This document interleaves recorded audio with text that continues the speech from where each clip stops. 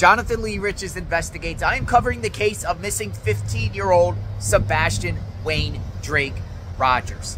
And the community has come out in full force, handing out flyers and posting flyers at numerous business establishments. Case in point, right here. This is an I 40 rest stop just east of Jackson, Tennessee. And there's a flyer up for Sebastian.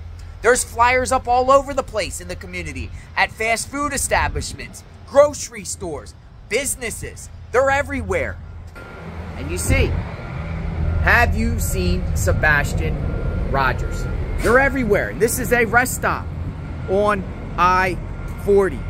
I myself have also been handing out flyers. Where is Sebastian Wayne Drake Rogers? Reported missing by his mom, February 26th. He's out there somewhere. Let's help find Sebastian.